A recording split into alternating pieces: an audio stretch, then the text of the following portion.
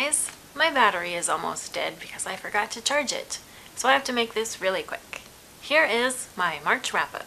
I read, or rather finished, four books in March, which is the least out of any month so far this year. The first book that I read was another book about Hygge, and this one was written by the CEO of the Center for Happiness or something like that, which is based in Denmark. I liked this book more than the last book I read about Hygge and rated this one five stars. The next book was Big Mushy Happy Lump by Sarah Anderson, and I love her comics so much and even though I had already read almost all of these, I really enjoyed it because her comics are just so much me and the way that I think. I rated it five stars. The next book that I finished was The Path of Daggers, the eighth book in the Wheel of Time series and I did really enjoy this one because most of it was my favorite characters, but there were a few chapters where I consistently fell asleep so I rated it four stars. And the last one that I finished was March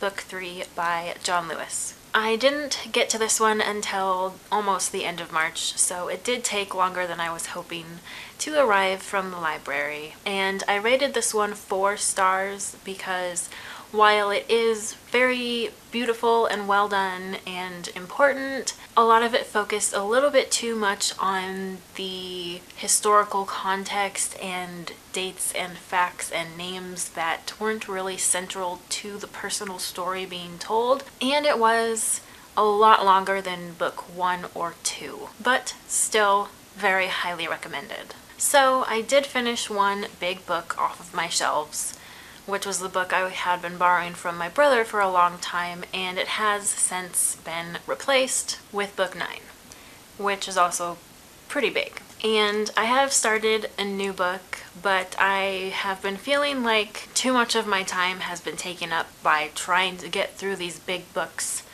relatively quickly. So in April, I am planning to take a break from starting a new big book.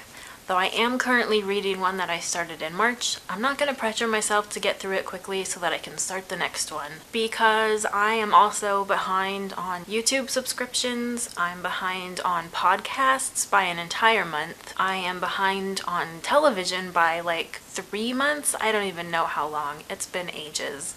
So I really need to get caught up on all of that. I did not finish any diverse ebooks, but I am almost halfway through one right now, so I'm planning to spend time reading that as well.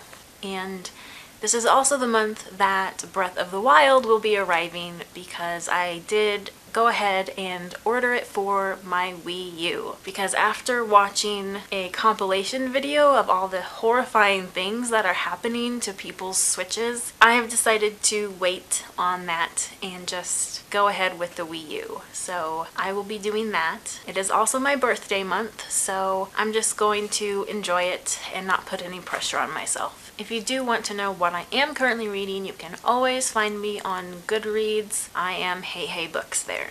The big book that I am currently reading right now is from another series that I'm trying to get through that I am borrowing. And when I received that book, my mom also gave me another big book that is a companion to the series that covers the books I have already read and it's pretty much as big as The Stand so I am kind of on the same exact number of big books that I started out with in the beginning of the year. I think I got through everything I wanted to say before the battery died so thank you for watching.